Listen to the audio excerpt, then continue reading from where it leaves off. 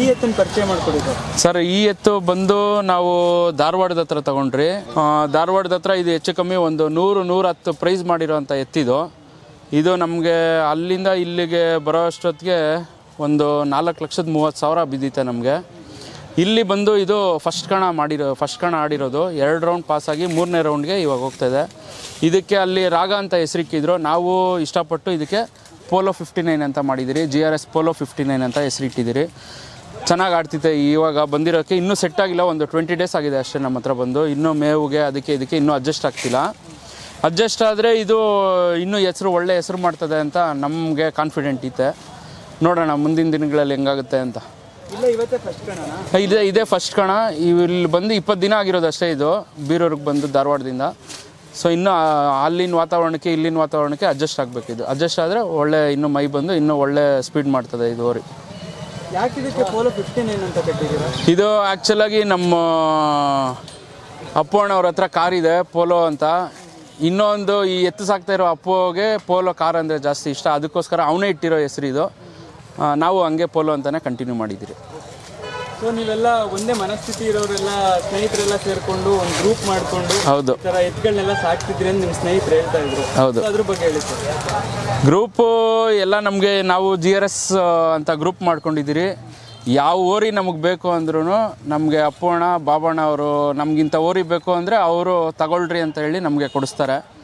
ಅದನ್ನು ನಮಗೆ ಇನ್ನೊಂದು ಸಂತು ಬೀರೂರಲ್ಲಿ ಸಂತು ಆಮೇಲೆ ಅಜ್ಜಂಪುರದಲ್ಲಿ ಅಪ್ಪು ಅಂತ ಹೇಳಿ ಅವರಿಬ್ಬರು ನೋಡ್ಕೊತಾರೆ ಸಾಕ್ತಾರೆ. ನಾವು ಬರೀ ರೇಸಿಗೆ ಬಂದು ನಾವು ಎಂಜಾಯ್ ಮಾಡಿ ಎತ್ತು ಹೆಂಗೆ ಹೋಗ್ತೈತೆ ಏನು ಮಾಡ್ತೈತೆ ನೆಕ್ಸ್ಟ್ ಯಾವ ಊರಿಗೆ ತೊಗೊಬೇಕು ಇಲ್ಲಾಂದರೆ ಯಾವ್ದು ಮಾರಬೇಕು ಅಂತ ಡಿಸೈಡ್ ಮಾಡ್ಕೊಂಡು ನಾವು ವಾಪಸ್ ಹೋಗೋದಷ್ಟೇ ನಮ್ಮದು ಏನಿದ್ರೂ ಕಷ್ಟಪಡೋದಲ್ಲ ಅವರಿಬ್ಬರೇ ಸೊ ನಮಗೆ ಇದ್ರ ಮೇಲೆ ಕ್ರೇಜ್ ಇರೋದಕ್ಕೆ ನಾವು ತಗೊಂಡಿದ್ದು ಇದನ್ನು.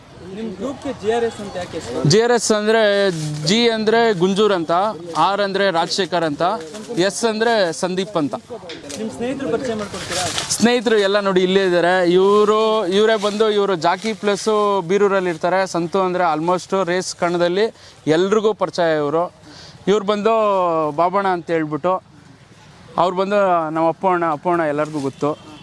ಸೊ ಅವರೇ ಇನ್ನೊಬ್ಬರು ಬಂದಿಲ್ಲ ಅಲ್ಲಿ ರೇಸ್ ಹತ್ರನೇ ಇದ್ದಾರೆ. ಅವ್ರು ಬಂದಾಗ ಅವ್ರನ್ನ ಇಂಟ್ರಡ್ಯೂಸ್ ಮಾಡಿಸ್ತೀನಿ ಮುಂದೆ. ಸದ್ಯಕ್ಕೆ ನಿಮ್ಮ ಬಳಿ ಎಷ್ಟು ಎತ್ತುಗಳು ಒಟ್ಟು ಇವಾಗ ನಮ್ಮ ಹತ್ರ ಐದು ಎತ್ತಿದ್ದಾವೆ ಐದು ಎತ್ತಲ್ಲಿ ನಮಗೆ ಒಂದು ಬಬ್ಯ ಒಂದು ಜೆ ಆರ್ ಎಸ್ ಪೋಲೋ ಅಂತ ಇನ್ನೊಂದು ಗಣಿ ಅಂತ ವೇಗದೂತ ಅಂತ ಚಂದ್ಯ ಅಂತ ಒಟ್ಟು ಐದು ಎತ್ತಿದ್ದಾವೆ. ಅವುಗಳು ಬೇರೆ ಬೇರೆ ಇಲ್ಲ ನಾವು ಫಸ್ಟು ಬೆಂಗಳೂರಲ್ಲಿ ರೇಸ್ ನೋಡಬೇಕು ಅಂತ ಹೋಗಿದ್ದ ದಿನಾನೇ ನಾವು ಚಂದ್ಯ ತಗೊಂಡ್ರಿ. ಒಂದೂವರೆ ಲಕ್ಷ ಕೊಟ್ಟು ಅಲ್ಲೇ ನಾವು ಪರ್ಚೇಸ್ ಮಾಡಿದ್ರಿ ರೇಸಲ್ಲೇ ಅಲ್ಲಿಂದ ನಾವು ರೇಸ್ ಎತ್ತು ಕಟ್ಟಕ್ಕೆ ಸ್ಟಾರ್ಟ್ ಮಾಡಿದ್ದು. ಸೊ ಎರಡು ಮೂರು ತಿಂಗಳಲ್ಲಿ ನಮಗೆ ಒಂದು ಐದು ಎತ್ತು ನಾವು ಸೇರಿಸ್ಕೊಂಡಿದ್ದೀವಿ ಓಕೆ ಸೊ ಯಾವೆಲ್ಲ ಪಿಚ್ಗಳಿಗೆಲ್ಲ ಹಾಕಿದ್ದೀರಾ? ಇದು ಇದೇ ಫಸ್ಟು ಚಿಕ್ಕಮಂಡ್ಯಾಗೆ ಫಸ್ಟ್ ಕಣಕ್ಕೆ ಇದು ಹಾಕಿರೋದು. ಸೊ ಇನ್ನೂ ಮುಂದೆ ನೋಡೋಣ. ಇನ್ನೂ ಒಂದು ಹದಿನೈದು, ಇಪ್ಪತ್ತು ದಿನ ಬಿಟ್ಕೊಂಡು ಒಳ್ಳೆ ರೇಸ್ ಎಲ್ಲಿ ನಡೆಯುತ್ತೆ, ಅಲ್ಲ ಕಣ ಅಂತ ಹೇಳ್ಬಿಟ್ಟು ನಾವು ಡಿಸೈಡ್ ಮಾಡಿದ್ವಿ ಬೆಂಗಳೂರಲ್ಲಿ ರೇಸು ನಾವು ನೋಡಿ ಎಲ್ಲ ಇದಾದಮೇಲೆ ಅಲ್ಲಿ ಚಂದ್ಯ ಅನ್ನೋ ಓರಿ ತೆಗೆದ್ವಿ. ಅಲ್ಲಿ ತೆಗೆದಾದ್ಮೇಲೆ ಹುಡುಗರೆಲ್ಲ ನಮ್ಮ ಫಾರ್ಮ್ ಹೌಸ್ಗೆ ಬಂದರು. ಅವರಲ್ಲಿದ್ದಿದ್ದ ಜೋಶು, ಹುಮ್ಮಸ್ಸು, ಇದೆಲ್ಲ ನೋಡಿ ನಮಗೂ ಆಸೆ ಆಯಿತು. ಹುಡುಗರು ಇಂಥ ಹುಡುಗರು ಇದು ಮಾಡ್ತಾ ಇದ್ದಾರೆ ಸಪೋರ್ಟ್ ಮಾಡೋಣ, ಇನ್ನೊಂದು ಮಾಡೋಣ ಅಂಥೇಳಿ ಸೊ ಆ ಒಂದು ಹುಮ್ಮಸ್ಸು ಇದಕ್ಕೆ ನೋಡಿ ನಾವು ಅವ್ರಿಗೂ ಸಪೋರ್ಟ್ ಮಾಡಿ ಈಗೆಲ್ಲ ತಗೊಟ್ಟು ಎಲ್ಲ ಮಾಡ್ತಾ ಇದ್ದೀವಿ. ಒಂದು. ನಮ್ಗೆ ಇನ್ನೊಂದು ಏನಂತಂದರೆ ನಾವು ಬೆಂಗಳೂರಲ್ಲಿ ಇರೋದ್ರಿಂದ ನಮ್ಮ ಪೂರ್ವಿಕರು ಮೊದಲಿಂದ ಮುಂದಿಂದನೂ ನಮ್ಮ ಮನೇಲಿ ಹಳ್ಳಿ ಕಾರ್ ಕಟ್ಟಿ ಎಲ್ಲ ಮಾಡಿ ಮಾಡ್ಕೊಂಡು ಬಂದಿದ್ದಾರೆ. ನಮ್ಮ ತಾತ ಅವರು ಅವರೆಲ್ಲ ಹೆಸರುವಾಸಿ ಅದರಲ್ಲಿ. ಬಟ್ ನಮ್ಗೆ ಅದ್ರ ಗಂಧ ಅಷ್ಟು ಗೊತ್ತಿರಲಿಲ್ಲ. ಚಿಕ್ಕ ಉಳ್ದ ಚಿಕ್ಕ ವಯಸ್ಸಲ್ಲಿ ನಮ್ಮ ಚೈಲ್ಡ್ಹುಡ್ಡಲ್ಲೆಲ್ಲ ನೋಡಿದ್ವಿ ನಾವು. ಎತ್ತಿ ಹಿಡ್ದಿದ್ವಿ, ಬಂಡಿ ಕಟ್ಟಿದ್ವಿ ಮಾಡಿದ್ದೀವಿ ಎಲ್ಲ. ಬಟ್ ಒಂದು ಇಪ್ಪತ್ತು ವರ್ಷ ಗ್ಯಾಪ್ ಬಂತು ನಮಗೆ. ಸೊ ನಾನು ಇವಾಗ ಬೆಂಗಳೂರಲ್ಲಿ ಇದ್ಕೊಂಡು ನಾನು ಸ್ವಲ್ಪ ತೋಟ ಅದು ಇದು ಎಲ್ಲ ಮಾಡಿಸ್ತಾ ಇದ್ದೀನಿ. ಆರಂಭ ಕೆಲಸ ಮಾಡಿಸ್ತಾ ಇದ್ದೀನಿ, ವ್ಯವಸಾಯ ಎಲ್ಲ ಮಾಡಿಸ್ತಾ ಇದ್ದೀನಿ.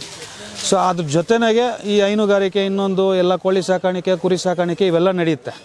ಎಲ್ಲ ಇರುತ್ತೆ. ಸೊ ಈಗ ತಾತ್ಕಾಲಿಕವಾಗಿ ಒಂದು ಆರು ತಿಂಗಳಿಂದ ನಿಲ್ಲಿಸಿದ್ದೀನಿ ಸ್ವಲ್ಪ ಆಲ್ಟ್ರೇಷನ್ ಕೆಲಸ ನಡೆಸಿ, ನಡೀತಾ ಇರೋದ್ರಿಂದ ಫಾರ್ಮ್ ಹೌಸಲ್ಲಿ ಎಲ್ಲ ನಿಲ್ಲಿಸಿದ್ದೀನಿ ಮುಂದಿನ ಪೀಳಿಗೆಗೆ, ನಮ್ಮ ಮಕ್ಕಳಿಗೆ, ಇನ್ನೊಬ್ಬರಿಗೆ ಇದ್ರ ಬಗ್ಗೆ ಏನಿದೆ, ನಮ್ಮ ಈ ಹಳ್ಳಿಕಾರಾಗಲಿ ಇನ್ನೊಂದಾಗಲಿ, ಕುರಿ, ಕೋಳಿ ಈ ಪೆಟ್ ಅನಿಮಲ್ಸ್ ಏನಂತೀವಿ ಇದ್ರ ಬಗ್ಗೆ ಸಾಕಾಣಿಕೆ ಮಾಡೋದು ಒಂದು ಐಡಿಯಾ ಕೊಟ್ಟು ಎಲ್ಲ ಅವ್ರಿಗೂ ತಿಳ್ಕೊಬೇಕು ಅನ್ನೋ ಒಂದು ಉದ್ದೇಶದಿಂದ ಒಂದು ನಾಲ್ಕು ಜನಕ್ಕೆ ತಿಳಿಸೋಣ ಅನ್ನೋ ಉದ್ದೇಶದಿಂದ ನಾವು ಮಾಡ್ತಾ ಇರೋದು. ಸರ್ ಇವಾಗ ಹಳ್ಳಿ ಜನರು ಕೂಡ ಎತ್ತನ ಮೇಂಟೈನ್ ಮಾಡೋಕ್ಕಾಗಲ್ಲ ತುಂಬ ಖರ್ಚು ಅಂತ ಸಾಕೋದನ್ನೇ ಕಡಿಮೆ ಮಾಡ್ತಿದ್ದಾರೆ. ಆದರೆ ನೀವು ಬೆಂಗಳೂರಲ್ಲಿ ಇದ್ಕೊಂಡು ಬೇರೆ ವೃತ್ತಿಲಿ ಇದ್ಕೊಂಡು ಇಷ್ಟು ಇದ್ರ ಮೇಲೆ ಹಳ್ಳಿ ಕಡೆ ಮೇಲೆ ಇಷ್ಟೊಂದು ಒಲವಿಟ್ಕೊಂಡಿದ್ದಾರೆ ಎಷ್ಟು ಖುಷಿ ಇದೆ? ತುಂಬ ಖುಷಿ ಆಗುತ್ತೆ. ಅದೇನೋ ಅಂತಾರಲ್ಲ ಎಲ್ಲರಿಗೂ ಒಂದೊಂದು ಕೆಲಸ ಮಾಡೋ ಒಂಥರ ಕಿಕ್ ಅಂತಾರೆ. ನಮಗೊಂಥರ ಎತ್ತಿದ್ರೆ ಕಿಕ್ಕು ಅಷ್ಟೇ. ನನಗೆ ಓರಿಗಳಂದ್ರೆ ತುಂಬ ಇಷ್ಟ, ಹಸುಗಳಂದರೆ ತುಂಬ ಇಷ್ಟ. ಎಲ್ಲಿ ಜಾತ್ರೆಗಳಾದರೂ ಹೋಗ್ತೀನಿ. ಎಲ್ಲಿ ನಮಗೆ ನಿಯರ್ ಬೈ ನನಗೆ ಎಲ್ಲಿ ಟೈಮ್ ಸಿಗುತ್ತೆ ಅನ್ನುತ್ತೋ, ಅನಿಸುತ್ತೋ, ಅಲ್ಲೆಲ್ಲ ನಾನು ಫ್ರೀ ಮಾಡಿಕೊಂಡು ಹೋಗಿ ಬರ್ತೀನಿ